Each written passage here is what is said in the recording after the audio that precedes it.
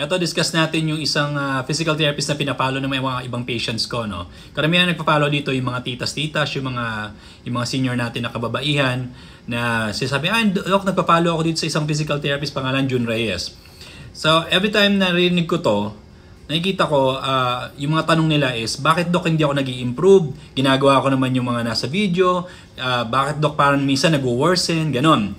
Now, we're not, we're not putting down anyone, pero discuss lang natin kung ba't nangyayari yung mga bagay na yon. Ito nyo ha, yung mga title kasi nito, The Best Daily Exercise for Seniors. Parang sinasabi mo, The Best Daily Exercise for Seniors, meaning, ibig sabihin ba para sa lahat ng seniors? Ito eh, dito, dito nagkakaroon ng mali eh. As ito pa. Fixed frozen shoulder, tendinitis, headaches, neck pain with self-massage. So nangyayari, ang inisip ng mga tao, ah, pag ginawa ko to, ma-fix ko yung frozen shoulders, ma-fix ko yung tendinitis, ma-fix ko yung headaches. Kaya hindi nag-work to sa maraming tao, sa maraming seniors, kasi hindi siya custom made for you. Masyado tong generalized. So iniisip ng mga tao, ay kasi nakalagay sa title, best exercise for seniors. So, eh, senior ako, di ibig sabihin mag-work sa akin to. Hindi po totoo. Hindi po totoo na mag-work sa inyo. Dahil hindi siya customized. Hindi siya talaga ginawa para sa sa'yo, individualized para sa'yo. Masyadong generalized yung title, masyadong na-assume ng mga tao na mag-work sa kanila just because senior sila. Just because may frozen shoulder sila, tendonitis, headaches, kala nila mag-work na to.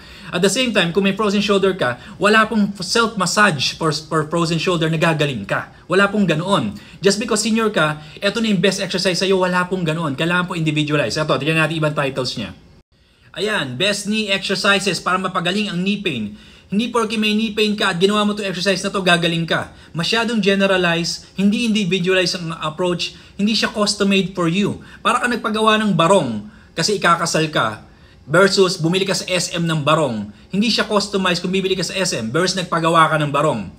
Etong title na to masyadong, ah, ano ba, for lack of better word, deceiving para sa general public kasi the general public does not know kung ano man talagang mag-work at hindi. So para para sabihin ng isang tao na best exercise to para mapagaling ang knee pain, deceiving. Kasi nga hindi customized. Maraming tao mag-iisip na gagaling ako dito kasi sinabi ni June Reyes gagaling ako. Hindi po totoo. Tandaan nyo, itong taong to ay YouTuber. Nagkikater siya sa general population. It doesn't mean na mag-work siya sa lahat ng tao. Masyadong generalization title, masyadong malawak ang kinocover, pero hindi hindi customized. Doon po nagkakaroon ng miscommunication. Kaya, like I said, we're not putting down anyone, pero sinasa- nililinaw ko sa inyo na mga ganitong klaseng title, hindi to mag-work sa inyo kasi hindi nga siya individualized.